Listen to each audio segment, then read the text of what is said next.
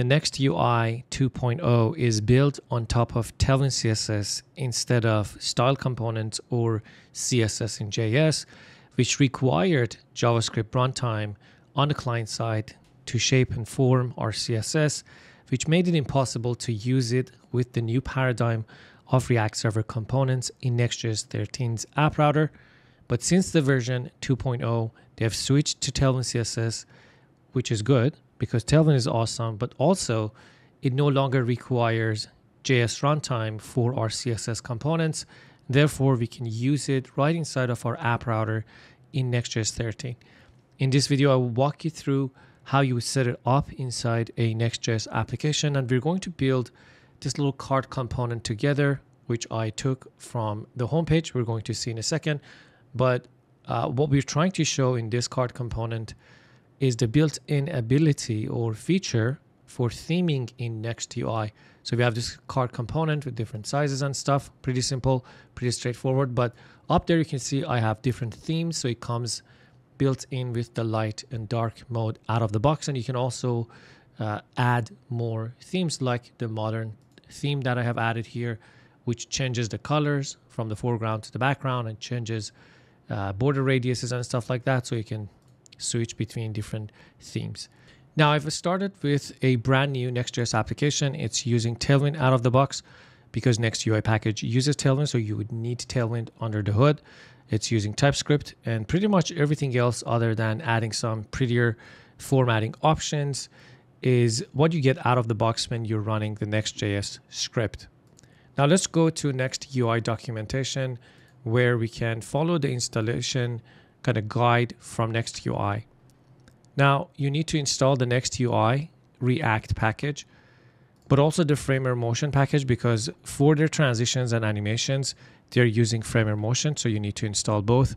I'm using PNPM, so uh, there is an extra step for PNPM. I'll mention it in a second, but you can just copy the script and install the two packages. I've already done that, so you can go ahead and install if you're just following along with me. Now, once you've done that, you have to go to your Tailwind config and actually add this uh, node module folder to your content. So Tailwind will pick up on it. And you'd also uh, put in this dark mode class because as I mentioned, Next UI comes with light and dark mode built in out of the box. So you just specify that dark mode class and then you would get this next UI function uh, from the package you installed and then pass it to a plugin. This is actually where you would pass in any customization that we're going to see later on in the video. For example, if you want to customize your themes from the light and dark or this modern theme that I've added, this is actually where you would pass those customizations. But for now, just leave it bare bone, just pass in the plugin with the next UI function. Just call that function without passing anything to it, and then you get the default behavior out of the box. Now, it's essential to add the next UI provider to the root of your application. And the way that we do it is through the providers pattern that we've seen uh, before in previous videos, where we are sharing a context throughout our Next.js app or specifically in the app router, where we create this providers file, which is a client component. And there we would just uh, create a wrapper around all of our child components. These are going to be our uh, React Server components, pages, and other nested layouts. A common question that I often get uh, when people see this, we're wrapping the whole application with a provider or with a component that's a client component, they doubt that our whole application now turns into a client component. Just to clarify, if you import a server component into a client component, it becomes a client component. So it um, imagine this use client directive that you're defining up top. It's a boundary between the server and the client. If you import any component, once you've defined this use client boundary, it becomes automatically a client component. However, you can pass server components as children, as we're doing it here, or as props to client components without changing them to client components. So it's okay to pass server components as children or as props to client components, but you cannot import them inside client components. Just a little side note because this is a common question I get on the videos. Now, once we have created this, we're going to come back to this file because we're also using this next themes, which is a uh, a way for us to switch the themes. It has nothing to do with the next UI provider, so you can just ignore this part uh, for now. I'm, go, I'm going to come back to this. Uh, for now, we're just creating this provider's uh, component, which takes in the children and then uh, wraps that children with this next UI provider. Now we're going to bring these providers back to our root layout where we can pass this, uh, bring in these providers to our root layout and then wrap everything else uh, as these children's inside of these providers. Again, here I'm just passing in a header and inside of this header, if I go back to the site, I'm just rendering this home. It really doesn't do anything. It's a link to go to the home page. There is no different page on this app.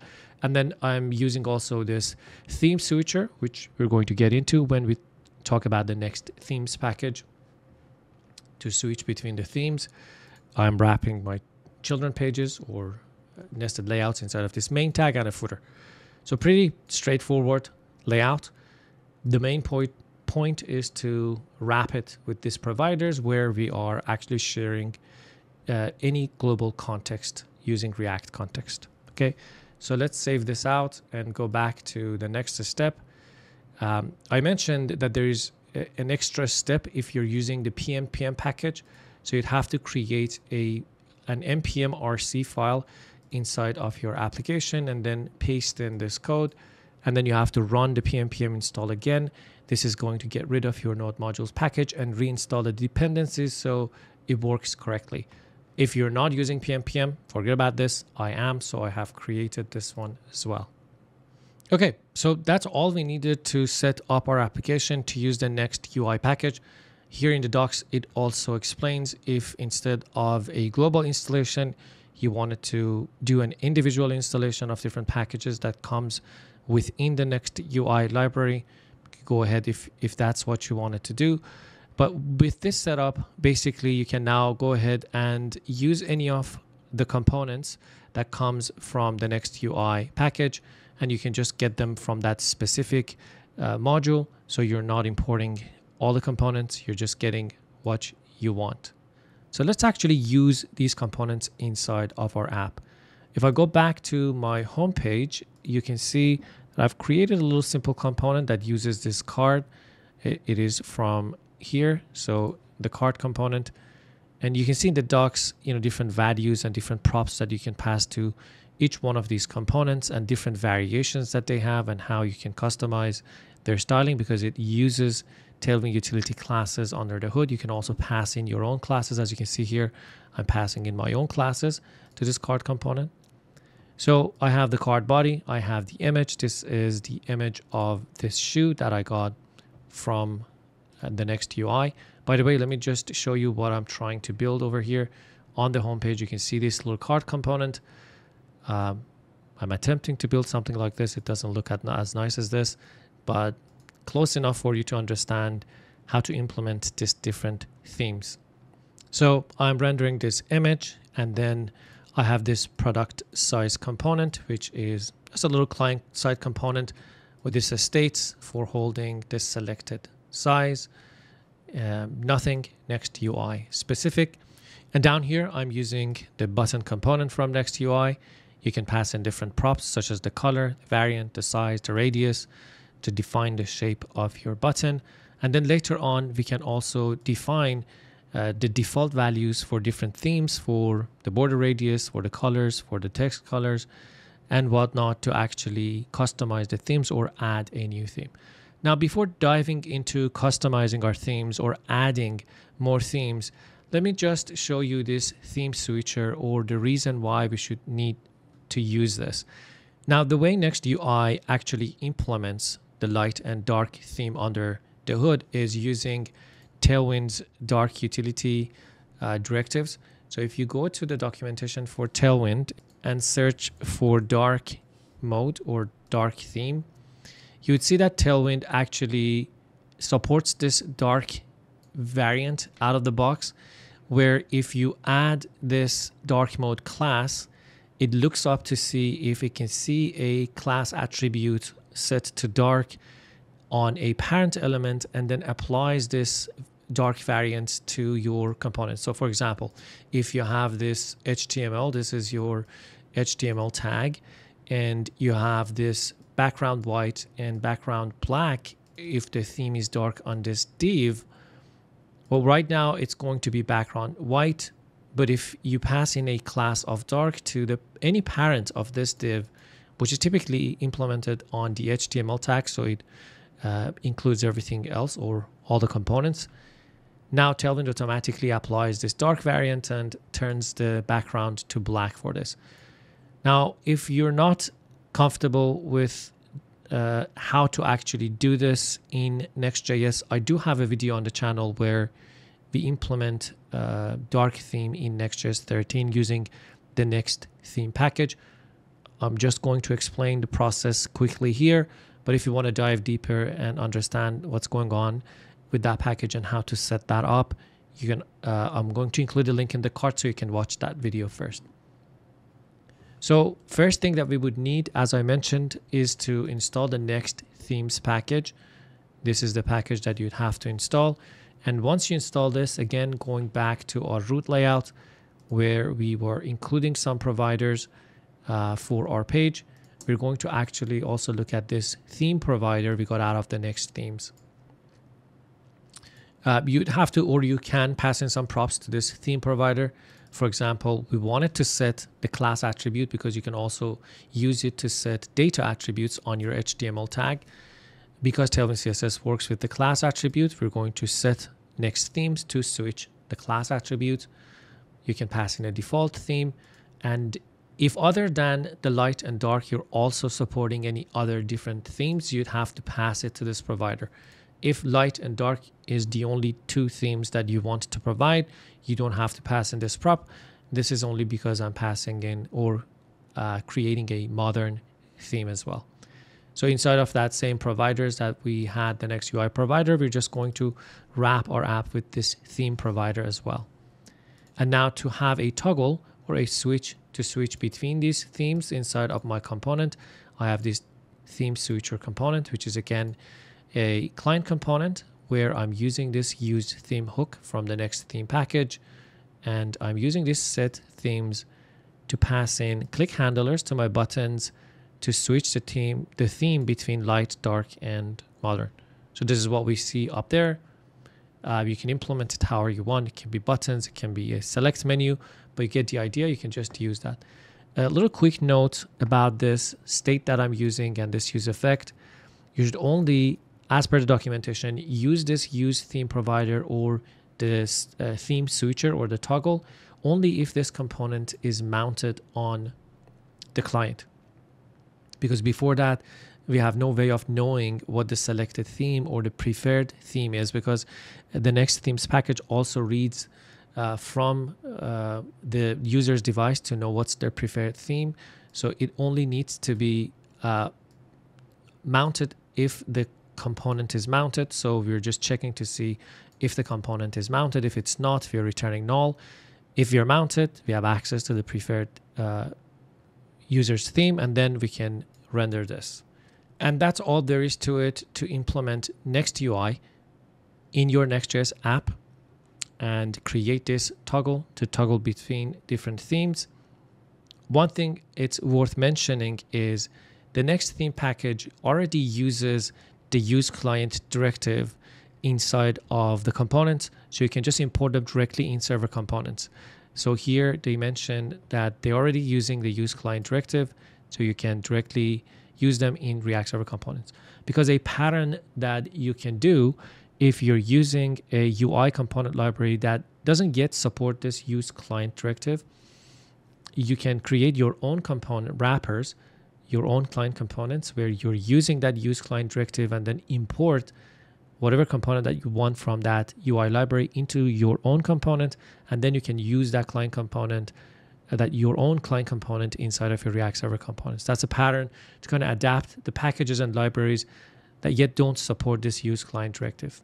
But some of them do, like in this case, they have included the use client directive in all of their components. So you don't have to wrap them with your own components. You could just import them in any React Server component. It works out of the box.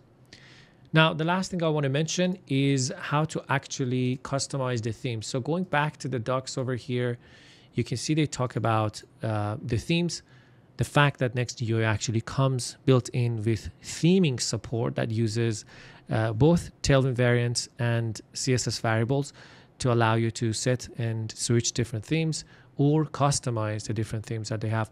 As I mentioned, they do have a light and dark theme that you can further customize. You can read through this, you can customize the themes by passing in different values for the layout object, which is stuff like border radiuses, border width, and uh, spacing units and stuff.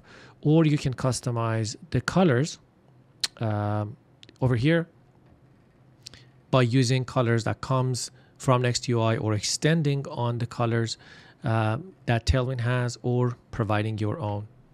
Now, if you wanted to add your own theme, which is create a theme, uh, you can also pass in your own theme over here. For example, here they've provi provided the purple dark, and then they have uh, they're extending a base theme. You can extend either the light theme or the dark theme, and then provide the colors and lay out specific values to use inside that theme.